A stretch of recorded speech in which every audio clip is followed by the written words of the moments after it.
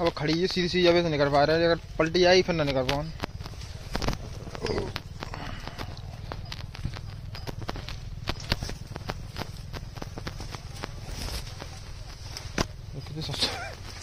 कौन से निकल गया?